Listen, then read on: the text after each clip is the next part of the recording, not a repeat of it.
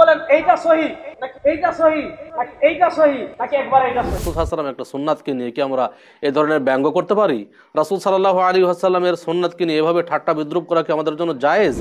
কীভাবে? এইভাবে। আরেকজন দেখবেন এইভাবে। আরেকজন দেখবেন এইভাবে। আরেকজন তো মাশাআল্লাহ একবার এইভাবে। তাহলে রাসুল সাল্লামকে নিয়ে রাসুল সাল্লামের কোনো সন্ন্যাতকে নিয়ে ঠাট্টা বিদ্রুপ করা এগুলো দিনের যে কোনো বিষয়কে নিয়ে ঠাট্টা বিদ্রুপ করা এগুলো কাফের হয়ে যাওয়ার সামিল করে। আল্লাহ তালা নিজে ঘোষণা দিচ্ছেন যে এক কম আরেক কম এক পুরুষ মানুষ আরেক পুরুষ মানুষ এক মহিলা আরেক মহিলা। এই পরস্পরে যেন একে অপরকে উপহাস না করে ঠাট্টা বিদ্রুপ না করে। এটা আল্লাহ তালার নিষেধ রয়েছে। আত্মাহারিক টিভি অহিরালয় উদ্ভাসিত জীবনের জন্য। আসসালামু আলাইকুম রহমতুল্লাহ ওবরাকাত আলহামদুলিল্লাহ ওসালাত ওয়াসালাম আল্লাহ রসুলিল্লাহ ওবাদ সম্মানিত দর্শক শ্রোতা মণ্ডলী, আজকে আপনাদের সামনে একটি গুরুত্বপূর্ণ বিষয় নিয়ে উপস্থিত হয়েছি। আমাদের সমাজে আজকে সোশ্যাল মিডিয়াতে অনেক ভিডিও আমরা দেখে থাকি যে অনেকেই রাসুল সাল্লাহ আলী ওয়াসাল্লামের বিভিন্ন সোননাথকে নিয়ে ব্যঙ্গ করি। রাসুল সাল্লাহ আলী ওয়াসাল্লামের বিভিন্ন সোননাথকে নিয়ে নাটক সাজাই এবং সেখানে ঠাট্টা বিদ্রুপ করি। যেমন আমরা সোশ্যাল মিডিয়াতে দেখেছি অনেক ভিডিও, তার মধ্যে দেখা যাচ্ছে যে অনেকেই বুকে হাত বাঁধাকে ব্যঙ্গ করতে গিয়ে অনেকেই একবার হাত গলায় বাঁধছি। ব্যঙ্গ করতে গিয়ে করছি। অনেকেই পায়ে পা মিলানোর ব্যাপারটিকে রাসুল সাল্লামের একটা স্পষ্ট সন্ন্যাস সহি হাদিস, সেটাকে ব্যঙ্গ করতে গিয়ে একবারে মানে নাটক সাজায় মঞ্চের উপরে এবং মঞ্চে বিভিন্ন সালাতের মানে বিভিন্নভাবে দেখানো হয় যেখানে পা ফাঁকা করে বিভিন্ন কাঁধ কুত হয়ে কাঁধ মিলায়ে এভাবে বিভিন্ন ব্যঙ্গচিত্র প্রদর্শন করা হয়। আবার দেখা যায় যে কেউ সালাত আদায় করে, যেহেতু আমাদের দেশের এক শ্রেণির মানে আমরা অল্প সংখ্যক সালাফাই মতাদর্শের মানুষ যারা বাংলায় খোদবা দান করি ইয়ে- ইয়েতে জমার খোদবাতে, এবং এটাকে ব্যঙ্গ করতে গিয়ে আমরা সালাদকে বাংলায় পড়ি। বাংলায় সালাদ আদায় করে দেখাই যে বাংলায় মানে সালা মানে সোরা যেগুলো পড়ি, দোয়া যেগুলো পড়ি, সেগুলো অন- অনুবাদ করে সেগুলো আদায় করি। এগুলো আসলেই আমাদের সমাজে আস্তে আস্তে বেশ বড় আকার ধারণ করেছে। এটা বড় দুঃখজনক বিষয়। আমি মানতে পারলাম না, সেটা ভিন্ন বিষয়। কিন্তু রাসুল সাল্লাম একটা সুন্নাতকে নিয়ে কি আমরা এ ধরনের ব্যঙ্গ করতে পারি? রাসুল সাল্লাহ আলী আসাল্লামের সুন্নাতকে নিয়ে এভাবে ঠাট্টা বিদ্রুপ করা কি আমাদের জন্য জায়েজ? সেটা যে পক্ষেরই ওলামা একরাম হোক। সেটা যে মতেরই হন না কেন, আমি মানতে পারি না, সেটা একটা বিষয়। কিন্তু আমি মানতে পারি না বলে রাসুল হাসান একটা সুন্নাতকে নিয়ে ব্যঙ্গ করব, এটা ইসলামী শরীয়তকে বৈধ করে? ইসলামী শরীয়তকে এটা স্বীকৃতি দেয়? তা কখনোই নয়। আসুন সে ব্যাপারে আমরা আজকে জানি।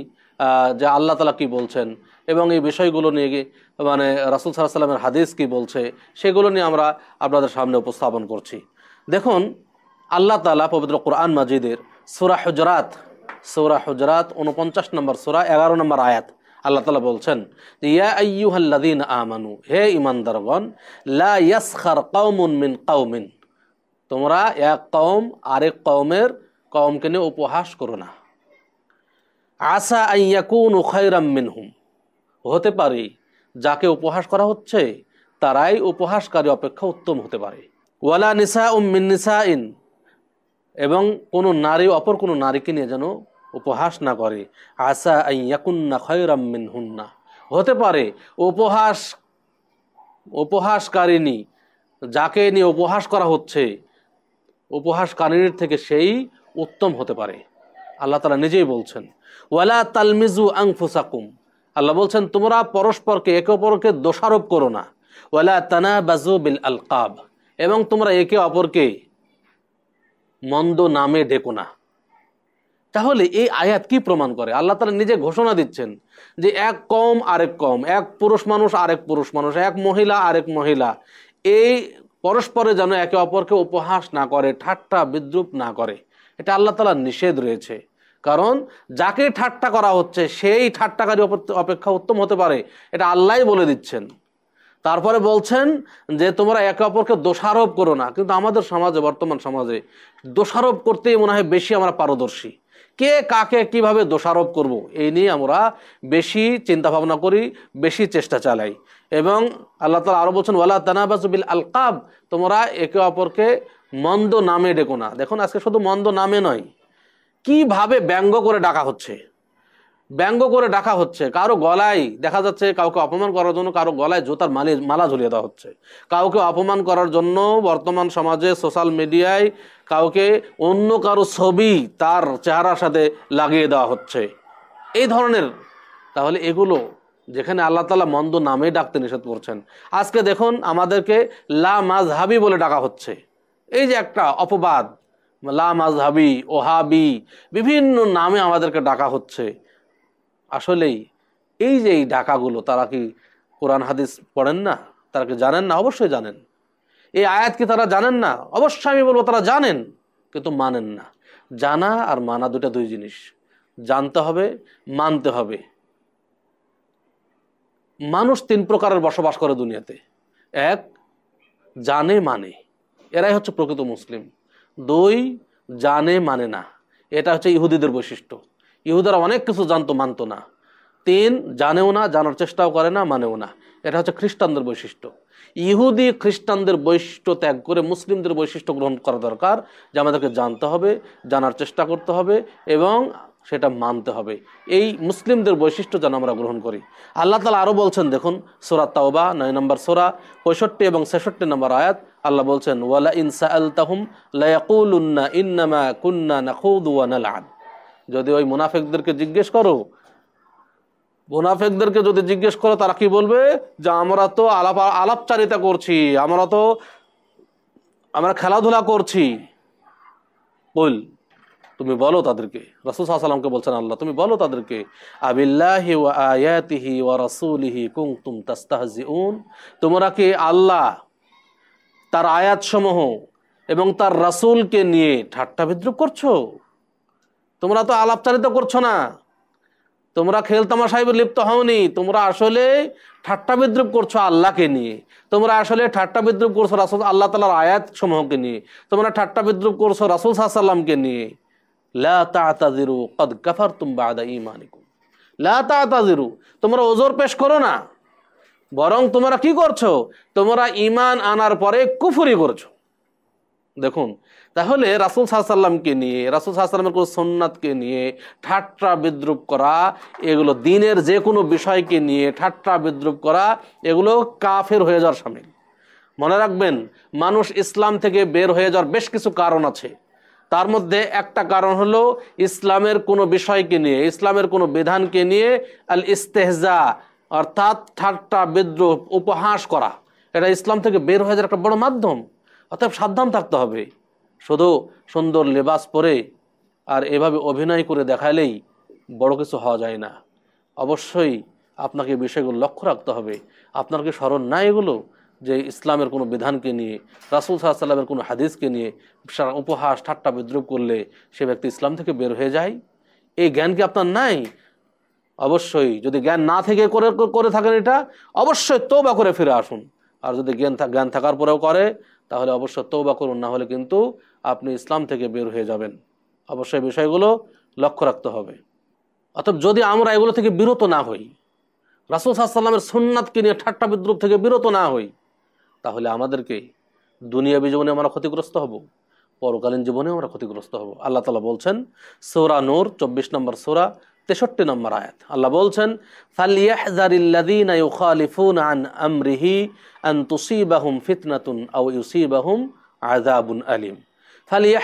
ফালিয়াহজারিল্লাযীনা ইউখালিফুনা আন আমরিহি।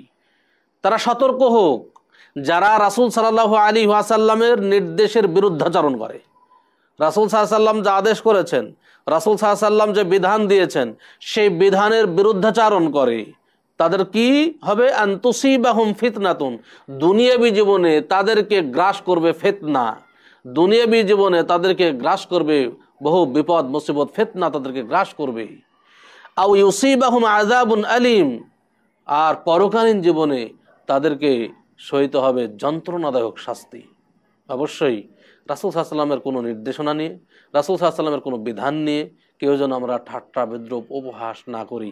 যদি করি, তাহলে দুনিয়াবি জীবনে আমাদেরকে ফেতনা গ্রাস করবে, দুনিয়াবী জীবনে ফেতনা গ্রাস করবে, পরকালীন জীবনে আমাদেরকে কঠিন আজাব আমাদেরকে গ্রাস করবে। অর্থাৎ সতর্ক থাকতে হবে। আজকে দেখুন সামাজিক যোগাযোগ মাধ্যমে বা সোশ্যাল মিডিয়ায় আমাদের দেখা যাচ্ছে কি? যে পায়ে পা মিলানো যদি ব্যঙ্গ করা হচ্ছে একেবারে ফাঁকা করে দাঁড়ানো হচ্ছে। আচ্ছা আপনারা নিরপেক্ষ দৃষ্টিতে চিন্তা করেন, যারা সালাফি মানহাজের কোনো মসজিদে সালাত আদায় করেছেন, তারা কি এ ধরনের দেখেছেন? কখনোই দেখেছেন কি? যে কোনো মানুষ ওইভাবে ফাঁকা হয়ে দাঁড়ায়, পা দুই পা ফাঁকা করে দাঁড়ায়? এটা কি দেখেছেন কখনো?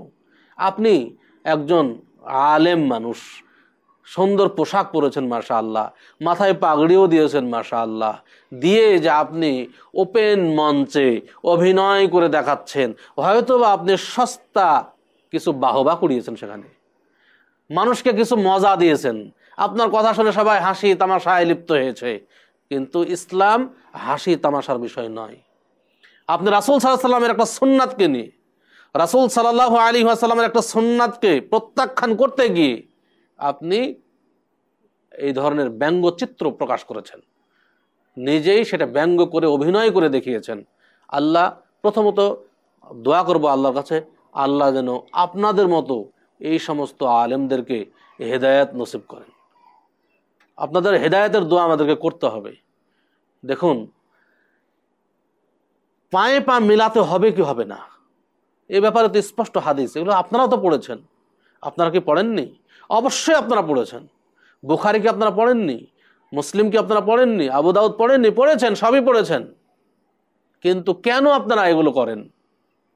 এবং কেন মিথ্যার আশ্রয় নেন? মিথ্যার আশ্রয় নিয়ে আপনাদের কি লাভ?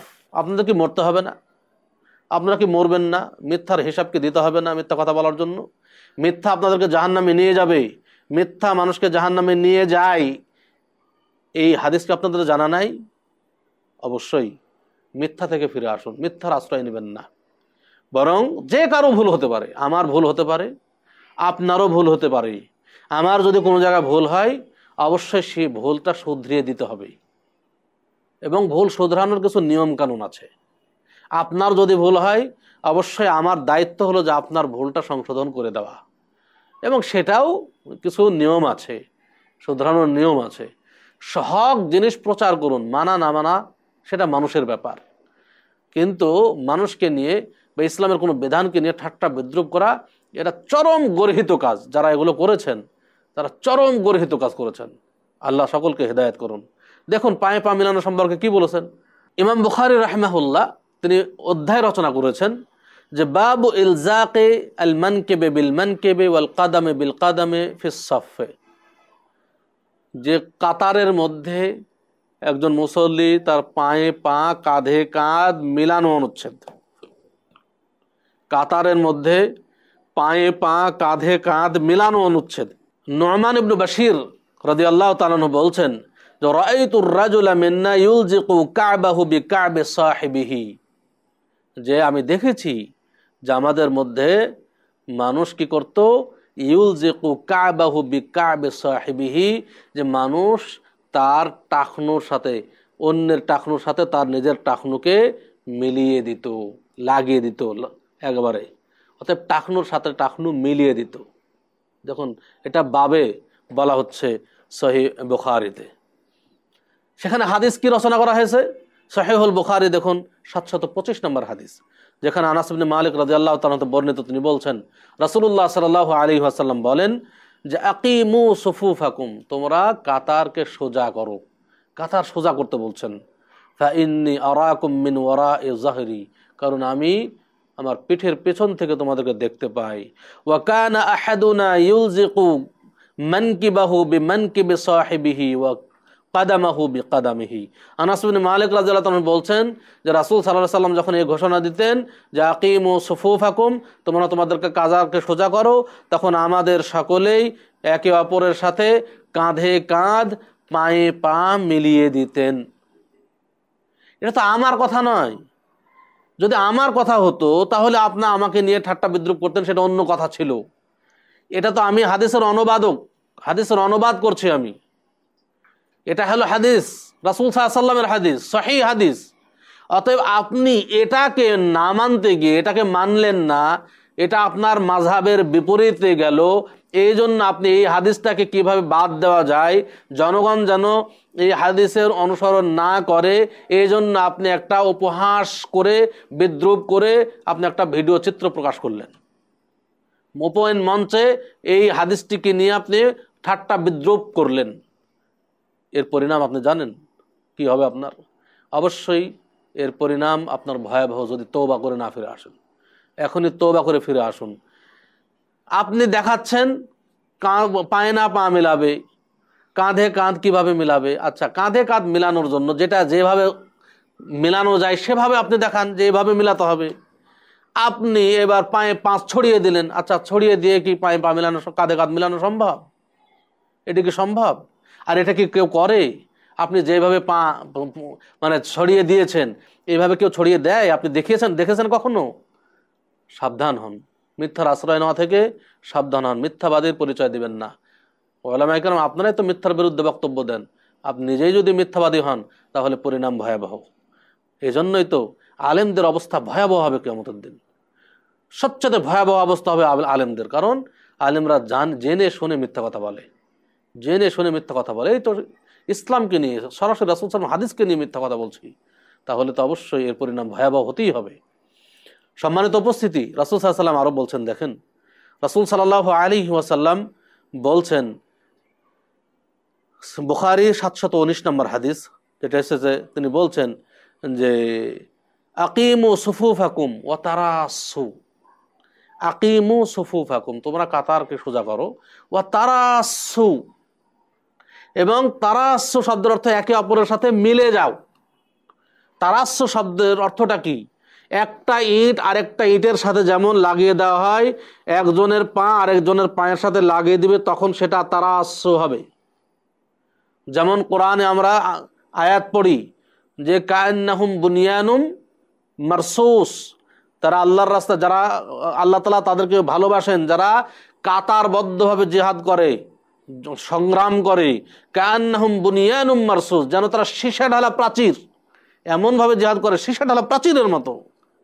তাহলে এটা মার- মারসুস, একটা ইট আরেকটা ইটের সাথে জোড়া দিলে যেমন হয়, তেমনভাবে আমাদেরকে সালাতে দাঁড়াতে হবে। এটা তো রাসুল সাল্লামের হাদিস শাহি হাদিস, বোখারির হাদিস। আরও হাদিস দেখুন। রাসুল সাল্লাহ আলী ওয়াসাল্লাম বলছেন যে আকিমুসফুফা তোমরা কাতারকে সোজা করো। ও হাজু বাইনাল মানাকিম। তোমরা তোমাদের কাঁধকে বরাবর করো। ও সুদ্দুল খালাল, এবং তোমরা পরস্পরের মধ্যে ফাঁকা বন্ধ করো। স্পষ্ট। দেখেন, আপনি শুধু অনেকে তারা আসছে মানে নিকটবর্তী অনুবাদ করেন যে নিকটবর্তী হও। তো নিকটবর্তী কত নিকটবর্তী হবে? সেই এই হাদিস তার প্রমাণ। ওয়াসুদ্দুল খালাল, তোমরা কি করো? ফাঁকা বন্ধ করো পরস্পরের মধ্যে। ওয়ালিনু বি আইদি ইখওয়ানিকুম, তোমরা তোমাদের ভাইদের সাথে হাতকে নরম করো, মিলে যাও নর্মতার সাথে। ওয়ালা তাজারু ফুরু জাতিল্লি শৈতান এবং তোমরা পরস্পরের মাঝে শয়তানের জন্য ফাঁকা জায়গা রেখো না। শয়তানের জন্য ফাঁকা জায়গা রেখো না ফাঁকা বন্ধ করো।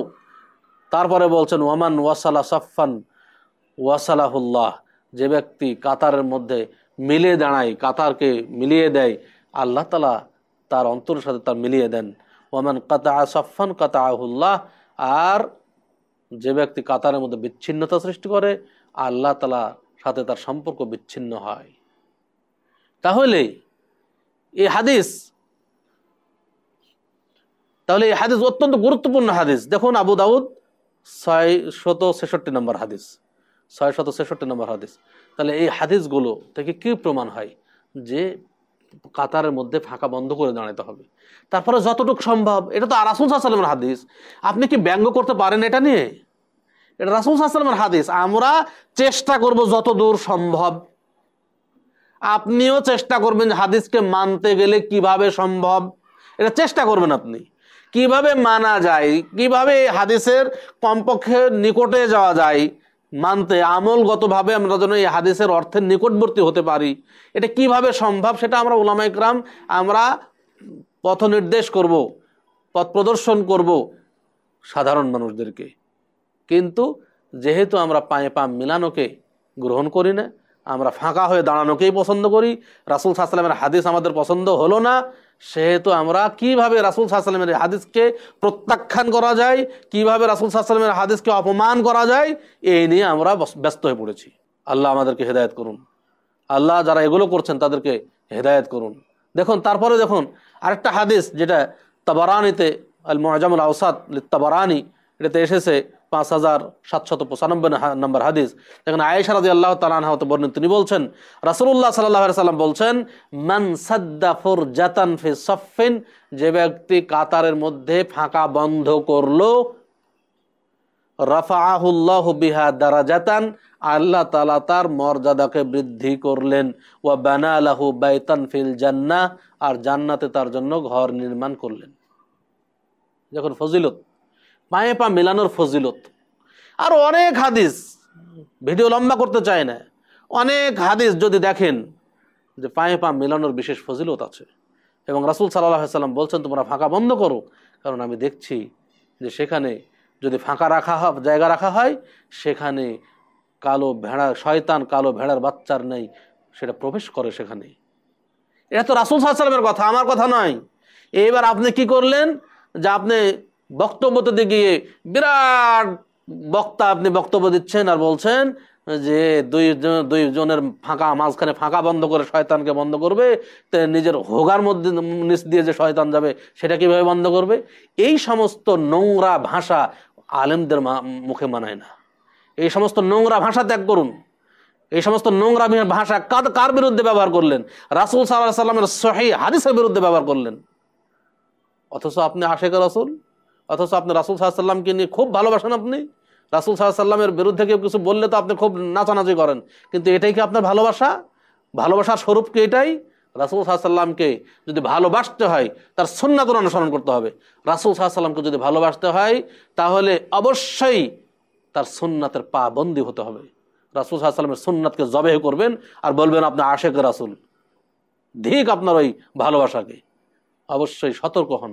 না হলে কিন্তু পরিণাম ভয়াবহ। অত্যন্ত ভয়াবহ পরিণাম হবে। ওলামাইকেরাম আজকে পরস্পর পরস্পরের বিরোধী। ওলামাইকেরাম আজকে একজন আরেকজনকে ঘায়েল করার জন্য এহেন অপকর্ম নয় যা আমরা করছি না। সব কিছুই করছি। কীভাবে কাউকে অপমান করা যায়? কীভাবে বিশেষ করে আহলে হাদিসদেরকে ঠেকানো যায়? এখন তো আহলে হাদিস ঠেকাও একটা মিশন খাড়া করা হয়েছে। এটা করে কি কি বোঝাতে যাচ্ছেন এটা করে নিজেদের হিংসার পরিচয় দিচ্ছেন। এটা হিংসুকদের কাজ। হিংসা হলো অন্যের ভালো দেখতে না পারা। এটা হিংসুকদের কাজ। হিংসা করা কি জায়েজ? আপনি তো আলেম মানুষ। হিংসা করা কি জায়েজ? ইসলামে হিংসা করা হারাম। হিংসা মানুষকে জাহান নামে নিয়ে যায়। এটা অবশ্যই আপনার জানা আছে। জানা থাকা দরকার। আপনি কি জানেন আলেমদের কাজ কি? আলেমদের দায়িত্ব কি? আলেমদের দায়িত্ব কি কারও বিরোধিতা করা, আলেমদের দায়িত্ব কি কাউকে অপমান করা, আলেমদের দায়িত্ব কি কাউকে নিয়ে ঠাট্টা বিদ্রুপ করা, আলেমদের দায়িত্ব কি রাসুল সাল্লাহ সাল্লামের সুন্নাতকে উপহাস করা, এটা কি আলেমদের দায়িত্ব? বা আলেমদের দায়িত্ব কি কাউকে জোর করে মানানো? কিছু ভিডিওতে আমরা দেখি যে জোর করে মানাবে। তারা যেটা করে, জোর করে মানতে হবে তাদের মসজিদে গেলে। আমিন বললে তাকে ধরো, এ ধরনের বক্তব্য আমরা শুনেছি এর আগে। ধরো তাকে তাকে ধরে, তার থেকে দলিল নাও, এই করো। বিভিন্নভাবে। এটা কি আলেমদের দায়িত্ব? কখনোই নয়। আল্লাহ রাসুল সাল্লাহ আলহি ওয়াসাল্লাম বলছেন, ইন্নাল আম্বিয়া। নিশ্চয় আলেমরা হচ্ছে নবীদের ওয়ারিস। ওয়া ওয়ালা আর নবীগণ তারা ওয়ারাসা হিসাবে দিনার দিরহাম রেখে যাননি। ওয়ার্রাসু আল এলমা তারা এলেম ওয়ারাসা হিসাবে রেখে গেছেন। ফামান আখাজাহু আখাজা বিহাজ্জিন ওয়াফির। তাহলে এলেমকে আমাদেরকে গ্রহণ করতে হবে। এলেম, যে এলেম আম্বিয়া ইকরাম রেখে গেছেন, সেই এলেমের প্রচার করতে হবে। এটা হচ্ছে ওলামা ইকরামের দায়িত্ব। ওলামা ইকরামের দায়িত্ব কাউকে জোর করে মানানো নয় এই দায়িত্বের কথা আমরা ভুলে গেছি। আমরা আমাদের দায়িত্বের কথা ভুলে গেছি, দায়িত্বের দিকে খেয়াল রাখি সবাই যে আমার দায়িত্বটা কি আসলে। আমার দায়িত্ব কাউকে ধরা নয়, কাউকে জোর করে মানানো নাই। এটা বিশেষ করে আমাদের দেশে যারা দেওবন্দি মানহাজের, দেওবন্দি আকিদা এবং মানহাজের মানুষ, তারাই কিন্তু এই কাজগুলো করে থাকেন। আজকে বাংলার বুকে কোনো প্রমাণ কেউ দেখাতে পারবেন না যে কোনো আহলে হাদিস মসজিদে, কোনো সালাফি মানহাজের মসজিদে কোনো বেদায়াতি সলাত করতে আসলে বা তাদের মতের বিপরীত কোনো মানুষ সলাত করতে আসলে তাকে নিষেধ করা হয়েছে কখনো? যে আমাদের মসজিদে আসলে তোমাকে আমিন জোরে বলতে হবে। আমাদের মসজিদে আসলে তোমাকে বুকের উপর হাত বাঁধতে হবে। আমাদের মসজিদে আসলে তোমাকে পায়ে পা মিলাতে হবে। বা তুমি আমাদের মসজিদে সালাদ আদায় করতে এসো না। এ ধরনের কোনো কথা বাংলার বুকে সহ সারা বিশ্বে কোনো সালাফি ওলামা একরাম বা সালাফি মানহাজের ওপর প্রতিষ্ঠিত কোনো মসজিদে এই ঘটনা ঘটেনি ইনশাআল্লাহ। ঘটবেও না কখনো। কিন্তু আপনারা এগুলো করেন। আপনারা মানুষকে মসজিদে আসতে বাধা দেন। আজকে কেন মসজিদ পৃথক হচ্ছে? কেন আজকে মসজিদ পৃথক হবে? মসজিদ আল্লাহর ঘর। মসজিদের সবাই সালাত আদায় করবে। কেন মসজিদ পৃথক হবে? কারণ আপনাদের কারণে হচ্ছে। যখন আপনি সালাত আদায় করতে বাধা দিচ্ছেন আমাকে, আমি যখন আমার রাসুল সাহা সাল্লামের সন্ন্যাত অনুযায়ী সালাত আদায় করব, রাসুল সাল্লামের সন্ন্যাত অনুযায়ী আমি পায়ে পা মিলাবো রাসুল সাল্লাহ সন্ন্যাত অনুযায়ী আমি জোরে আমিন বলব। রাসুল সাল্লামের সন্ন্যাত অনুযায়ী আমি বুকের উপর হাত বাঁধবো। রাফুল রাসুল সাল্লামের সন্ন্যাত অনুযায়ী আমি রফাউল ইয়াদায়ন করব। তখন আপনি কি করবেন? আমাকে হয় অপমান করবেন না হলে আমাকে মসজিদ আসতে বাধা দিবেন। মসজিদে তুমি এসো না কালকে থেকে। তখনই কিন্তু আরেকটা মসজিদ বানাতে বাধ্য হচ্ছে। তাহলে মসজিদ, আজকে আহলে হাদিস মসজিদ সৃষ্টি হওয়ার মূল, মূলেই আছেন আপনারা। আপনাদের কারণেই হয়েছে। আপনারা যদি বাধা না দিতেন, মসজিদ যদি আল্লাহর ঘর হিসেবে রাখতেন, তাহলে কিন্তু সেটা কিছুই হতো না। অথচ আপনারাই আবার প্রতিবাদ করেন আন্দোলন করেন যে আহলে মসজিদ কেন হবে? আহলে মসজিদ নাম দিয়ে কি কখনো আপনাদেরকে বাধা দেওয়া হয়েছে? সালাদ করতে কোনো আহলে মসজিদে দেখেছেন যে কাউকে বাধা দেওয়া হয়েছে? কিন্তু আপনারা যে বাধা দেন, আপনারা তো বাধা দেন, আমরা কোনো বাধা দেই না আহলে হাদিস মসজিদ নাম দিয়ে আমরা প্র- প্রমাণ করতে চাই, এখানে সব মানুষ সালাদ করতে পারে, কাউকে বাধা দেওয়া হয় না। এটাই প্রমাণ আহলে হাদিস মসজিদের। অতএব আমরা আমাদের দায়িত্বের কথা যেন না ভুলে যাই। ওলামা কেরামের দায়িত্ব মানুষের কাছে হক পৌঁছিয়ে দেওয়া। আপনি যদি আপনারটা বুঝেন, সমস্যা নাই। আপনি যেটা বুঝছেন, যদি মনে করেন যে আপনারটা সহি, আপনি সেটা প্রচার করুন। কিন্তু কাউকে বাধ্য করবেন না। আপনি সেটা প্রচার করুন, কিন্তু সেটা নিয়ে বিপরীত কাউকে নিয়ে ঠাট্টা বিদ্রুপ করবেন না। আবার সালাফি ওলামা একরামকেও বলব, শুধু আপনাদেরকে নয়, যদি কোনো সালাফি মানহাজের ওলামা একরাম কোনো মাঝহাবি ভাইদেরকে নিয়ে ঠাট্টা বিদ্রুপ করেন, তারাও ফিরে আসুন, এটা ঠিক নয়। অবশ্যই তারা যেটা করছে, সেটা তাদের দৃষ্টিতে তারা, তাদের দৃষ্টিতে সঠিক করছে। আমার দৃষ্টিতে সেটা সঠিক নাও হতে পারে।